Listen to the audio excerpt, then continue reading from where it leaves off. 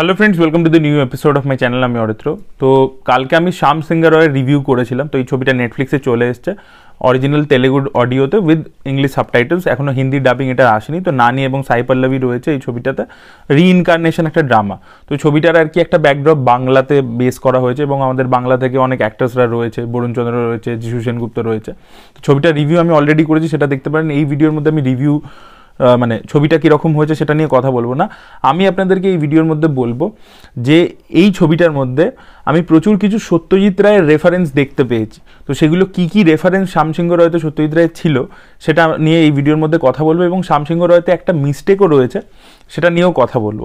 তো যে প্রথম আমি রেফারেন্সটা দেখতে পেয়েছি সেটা হচ্ছে যে এখানে যে দুটো, আমি এটা একটু স্পয়লার যারা এখনও ছবিটা দেখেনি তারা এই ভিডিওটা কিন্তু দেখবেন না, কারণ এটাতে অনেক কিছু আমি সিনেমাটার প্লটের ব্যাপারে কথা বলব, অনেক সিনের ব্যাপারে কথা বলব।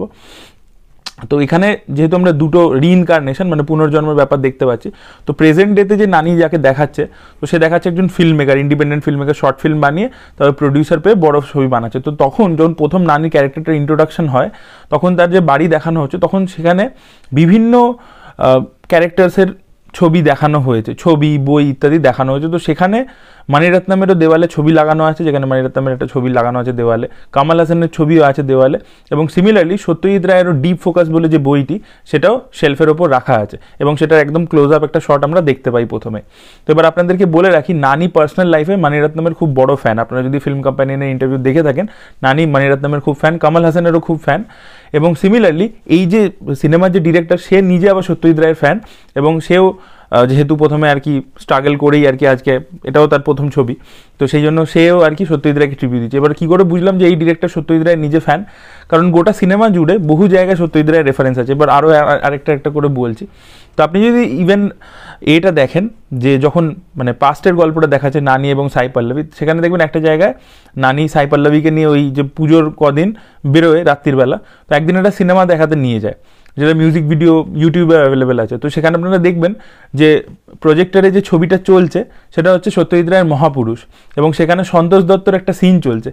আপনারা মহাপুরুষ ছবিটা যদি দেখে থাকেন, দেখবেন ওখানে আঙুল এরকম, একটা আঙুল ক্লকওয়াইজ ঘুরছে, একটা আঙুল অ্যান্টি ক্লকওয়াইজ ঘুরছে, এরকম একটা সিন ছিল। খুব ইন্টারেস্টিং একটা সিন ছিল, যেটা ওই বিরিঞ্চি বাবা করতো। তো সেই জিনিসটাকে, সেই সিনটা চলছে। সেটা একটা আমরা দেখতে পাই। আচ্ছা তারপরে সাই পল্লবীকে মানে শ্যামসিংহ রয়ের যে ক্যারেক্টারটা মানে নানি যেটা প্লে করছে, যখন বিয়ে করে কলকাতা নিয়ে চলে আসে এবং কলকাতায় মানে প্রথমে তো কলকাতা নিয়ে আসে, তারপর ওখানে বিয়ে করে মন্দিরে। যখন বিয়েটা করে, সিঁদুর টিঁদুর পরিয়ে দেয়, তারপরে দেখবেন একটা ট্রানজিশন শট আছে, যেখানে সাই পল্লবীর মাথায় যে টিপটা, সেখান থেকে একটা সূর্য হয়ে ওঠে। আপনারা যারা দেবী ছবিটা দেখেছেন, সেখানে শর্মিলা টেগোরের সিমিলার একটা ট্রানজিশন শট আছে।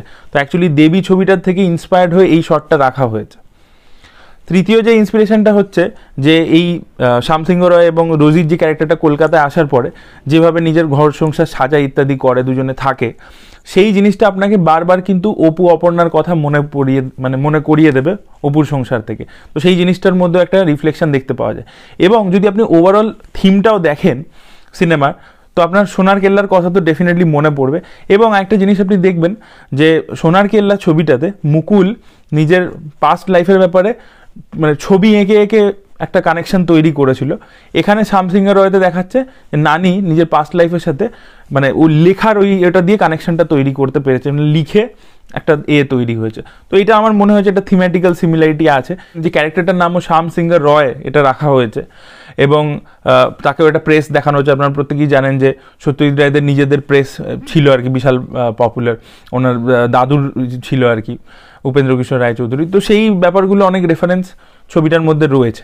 এবং যে নেগেটিভ কথা পয়েন্টের কথা আমি বলছিলাম সেটা হচ্ছে যে শ্যামসিংহ রায়ের একটা লেটার প্যাড দেখানো হয়েছে একটা সিনে তো সেখানে শ্যাম বানানটা ভুল রয়েছে।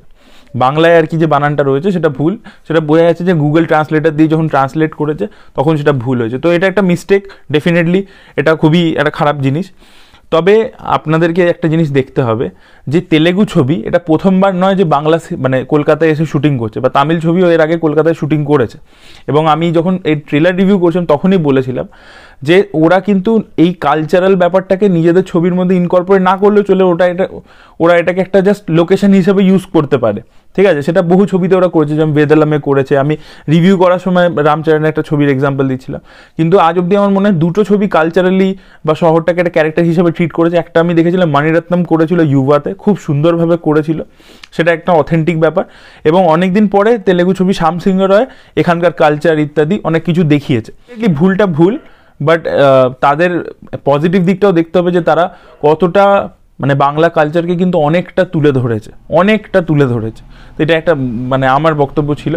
তো আপনারা এই রেফারেন্সগুলো দেখতে পেয়েছিলেন কিনা ছবিটা দেখার সময়, তাহলে কমেন্ট করে ডেফিনেটলি জানাবেন। আর যদি আপনাদের এই ভিডিওটা ভালো লেগে থাকে, তাহলে লাইক করুন শেয়ার করুন চ্যানেলকে সাবস্ক্রাইব করতে ভুলবেন না। বাই